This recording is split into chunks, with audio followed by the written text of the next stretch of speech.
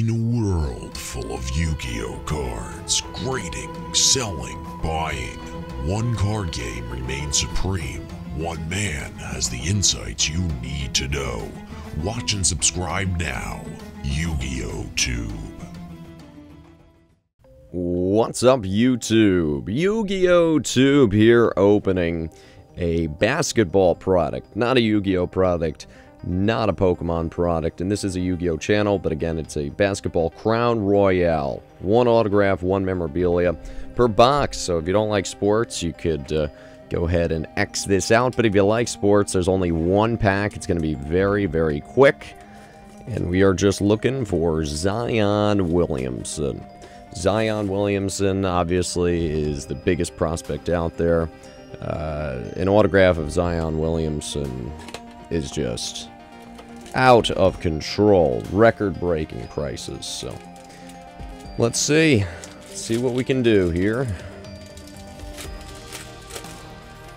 Here it is, Crown Royale.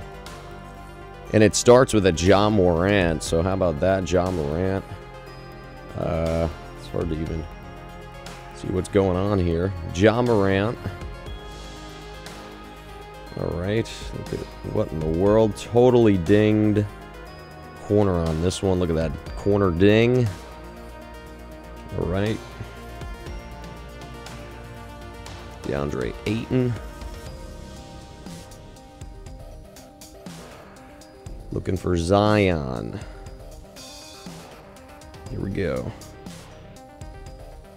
Ben Simmons, kind of like a cracked ice variation. Don't know if that's numbered or not. It's hard to even tell. Okay. Here is a Kawhi Leonard.